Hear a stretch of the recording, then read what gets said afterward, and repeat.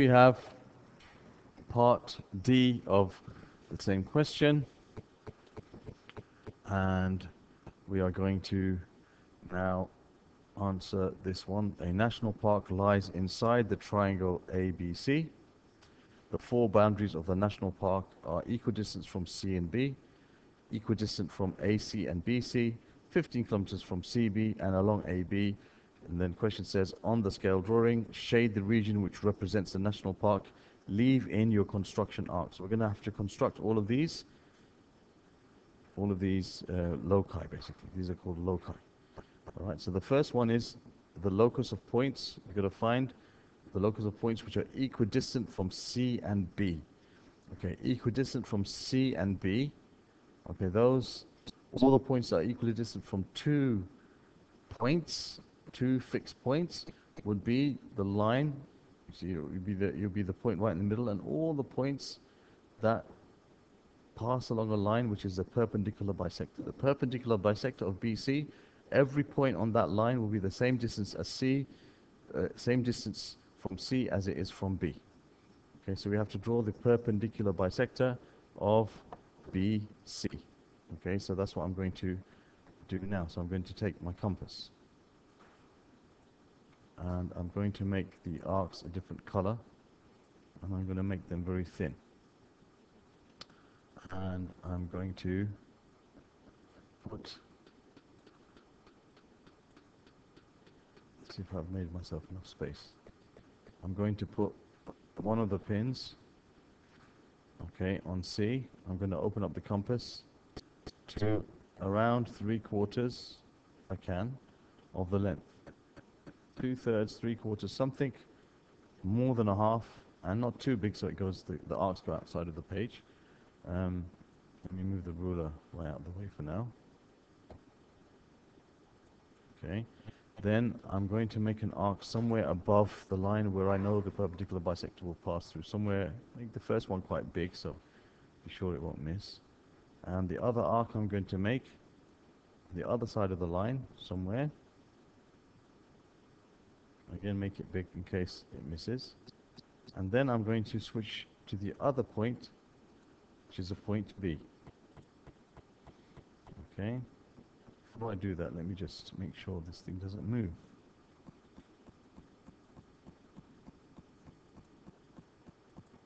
Okay, so now I'll move my point to the point B, and then I'll make sure the, arcs meet.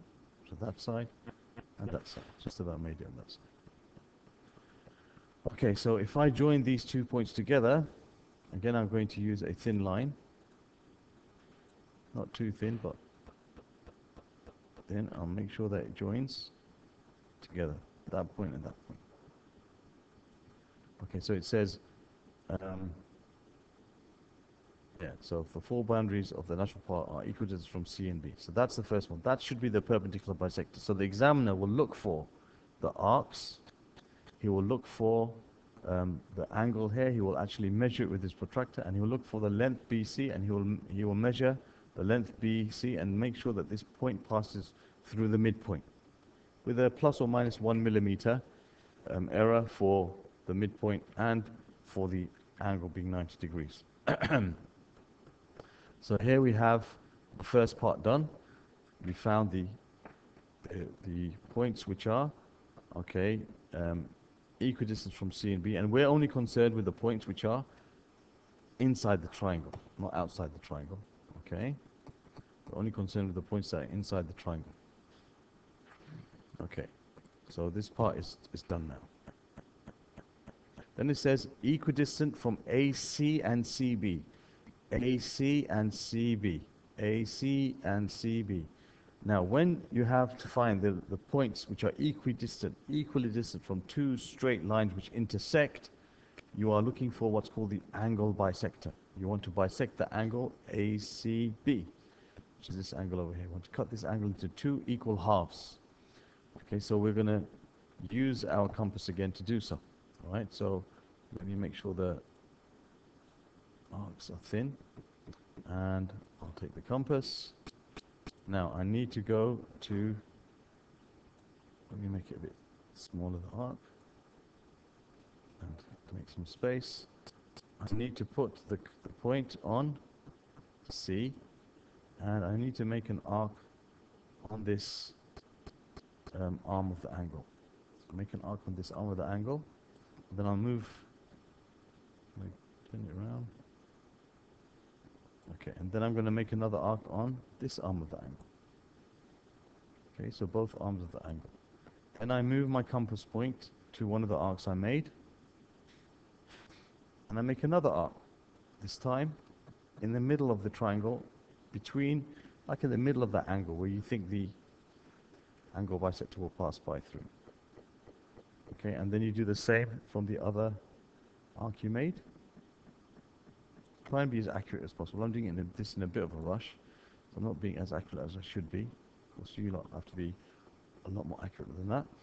Now, when I join the vertex of the angle to that point I've made, the arc, that should be, as long as I've done it correctly, that should be the angle bisector. So this doesn't seem to click in place. As close as I can. Okay, there is the angle bisector. That line should cut this angle into two equal halves. Make sure that it make it go through the whole triangle. Okay, and there we have the two equal halves. This angle should be cut. So the again, the examiner will be looking for these arcs. He'll be looking for those arcs. He'll be looking to measure the angle and to make sure that it's been cut in half plus or minus one degree. And that's how you get the marks for that part of the question. So that's second part done. Then you've got 15 kilometers from CB. Now this is something which is, again, slightly different. So 15 kilometers. Now we've got to look at the scale of the drawing. It says 15 kilometers from CB. So let's go back to the scale now for the drawing. So 15 kilometers from CB.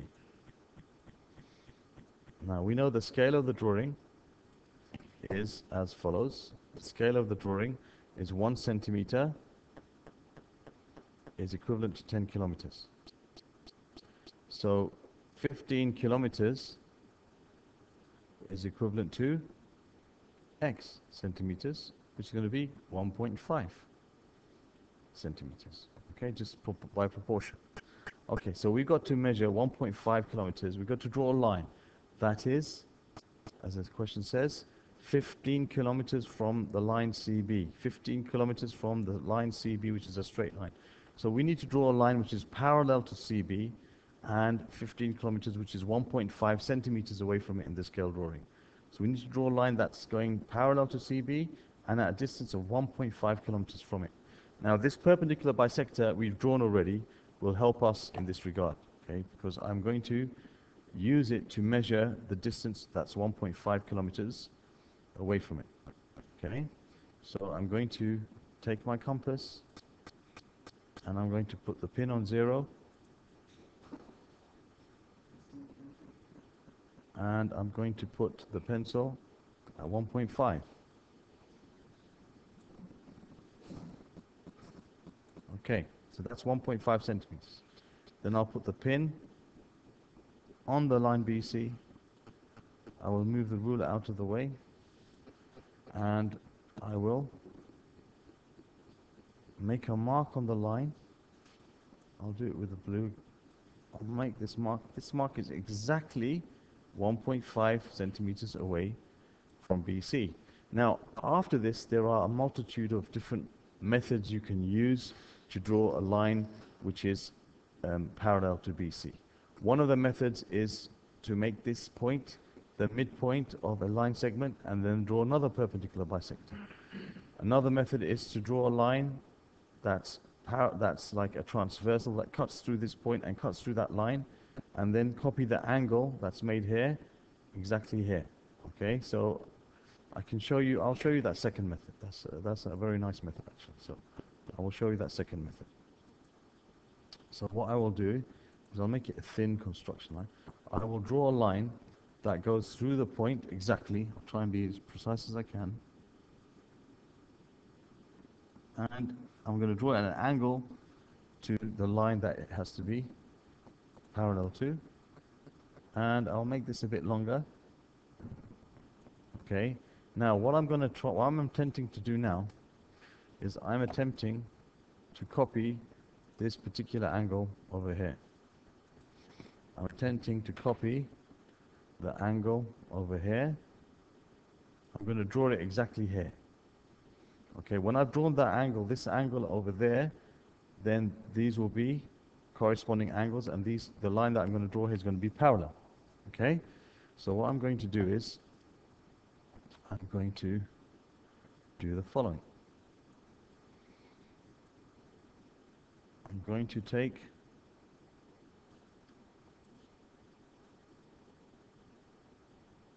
this, put a mark exactly there. Okay. And then what I'm going to do is I'm going to make an arc like this. I'm going to make an arc that goes like this. Actually from here, sorry.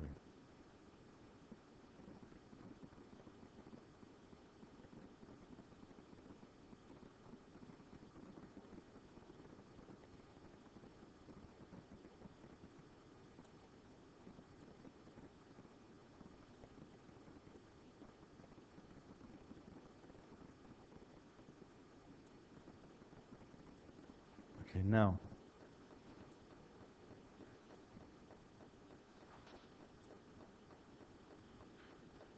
So I know that that, if I now go that same distance, if I now go that same distance over here, and make an arc over here,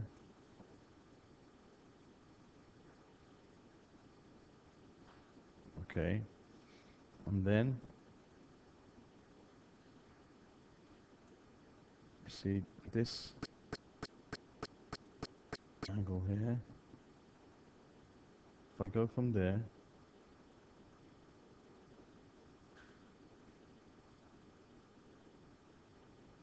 so you see this angle here, this this length here.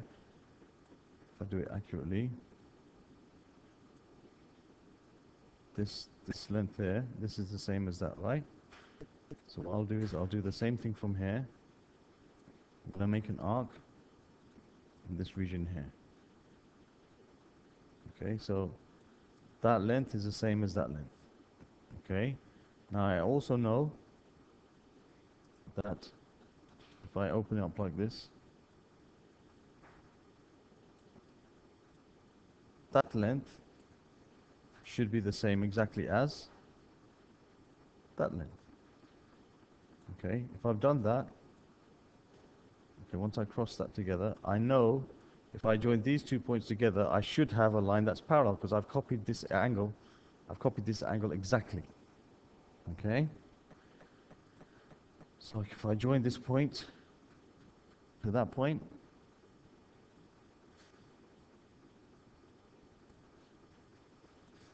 and you've done it accurately, you have now constructed a line that's parallel to that line. That's how, one of the ways to construct a parallel line to another. Okay, I'm going to make this line a bit thicker so that I can show that it's my actual line. Not too much thicker, but a bit thicker. So I'll make it about about like that. Okay. So we have our construct our actual lines that we needed to draw. I've made them a bit thicker, that's all. Okay. Fat. Yeah. All right, so that is our line, which is uh, 15 kilometers from CB. That is our line that's equidistant from C and B. And that is our line which is equally distant from AC and CB. Okay, and it has to be along the line AB, so somewhere along here along the line AB. So it says on the scale drawing, shade the region which represents the national park. Leave in your construction arcs. Okay, so now we have to do some shading. So I'll just um, change the color of it. Okay, so it says equidistance from C and B. So it has to be the same distance from C and from B. Okay,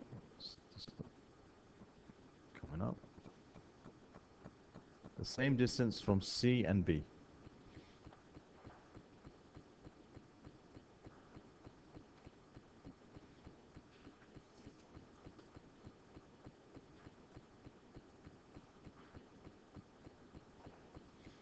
Okay, same distance from C and B. That's this line over here. Okay, equidistant from C and B, that's that line over there. Then it says equidistant from AC and CB.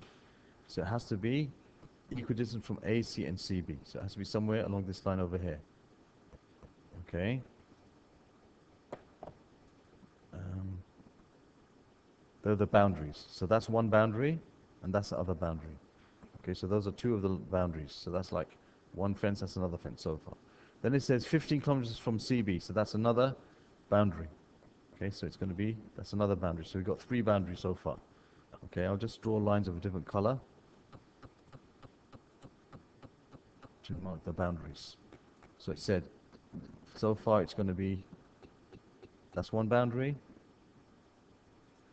Okay, then that's another boundary. And it says along, and that's another boundary. And it says along the line AB, that's another boundary. Those are the boundaries. It's like the boundary wall of the park. Okay? So you got equidistance from C and B. That's one boundary line here. That's part of the boundary. Equidistance from AC and CB. Okay, so that's that's an angle bisector. So it's along this line. 15 kilometers from CB, so it's along that line. And along AB, that's the other boundary and then you've got to shade the region which represents it. So I'm going to now shade that region. Okay, I'll choose a color to shade it in. Okay. So we'll shade this region here.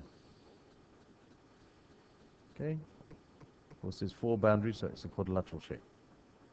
Okay, so that's part D done, and now part E. Okay, um, that's just a similarity type of question. So I'll quickly do that now. Okay, part E says, on the scale drawing, a lake inside the national park has an area of 0.4 centimeters squared. Calculate the actual area of the park. So you know one centimeter, change the color. One centimeter is representing 10 kilometers. Okay, so actual area is going to be bigger. So you're going to have 0.4 times 10 over 1. And we're going to square. This is the ratio of the lengths. We're going to square it. Now this, this scale automatically converts centimeters to kilometers. And when you square it, it will automatically convert centimeters squared into kilometers squared. Okay, because it's 1 centimeter to 10 kilometers. So that's all we have to do. So it's going to be 0.4 times 10 squared, which is 100.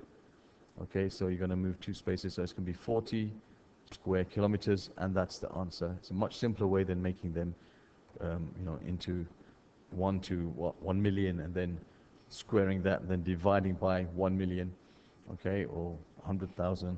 It's much easier to do it this way. Okay, so there we have our answer of this question. It's quite a long question.